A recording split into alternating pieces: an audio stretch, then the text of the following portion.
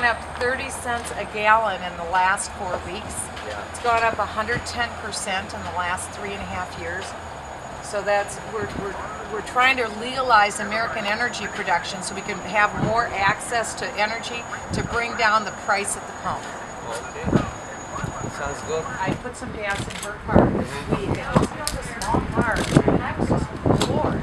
Yeah. How, and how fast, I mean, I, it seemed like I had, I was running the, the pump for like about forty seconds. Yeah. And it was seventeen dollars, and I went, oh my gosh. You know, goes, yeah. Well, listen, I'll let Well, you hey, go on your way, but to thanks for letting me pump your gas. Absolutely. And we're gonna do everything that we can to bring Right. down the price here at the pump. I appreciate it. Okay, it. God bless you. Right, Have a good day. thank Hope you, you get too. that raise from your boss. Yeah, me too. Okay. Bye